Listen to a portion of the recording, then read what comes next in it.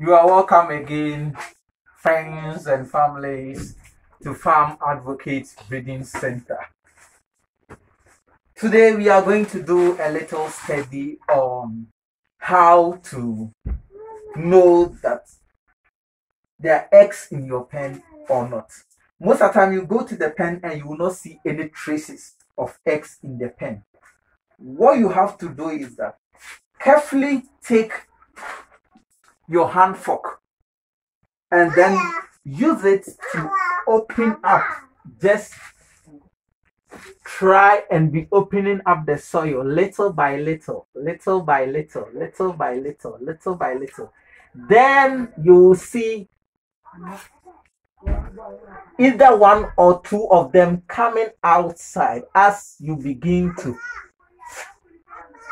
search for them so just one or two trays will lead you to many others which you might not see at first and even say your snails are not. Yeah so you might think your snails are not even laying eggs but as you can see as i try to open up you will see hundreds of them there. Plenty.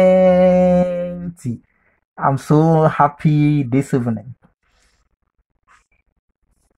yes so you have to be observant very very observant. As a snail farmer you have to get patient and be observant.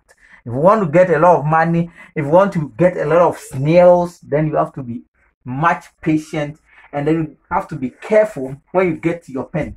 Be observant about all the snails make sure there are no pets in it and then be also very careful especially in the tracing of egg you see now i have a lot of eggs and as i explained in the earlier video this how i'm picking them up to incubate them in my hatchery box.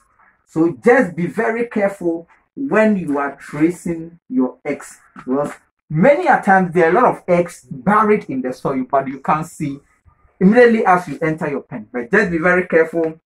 Use either your spoon or the hand fork to open up and you see a lot of eggs. Then you carefully pick them and then put them into your hatchery box. As i told you you need to follow it very careful. Then you spread it in then you use soil to cover it. Thank you very much. Once again this farm advocate watch out for more videos.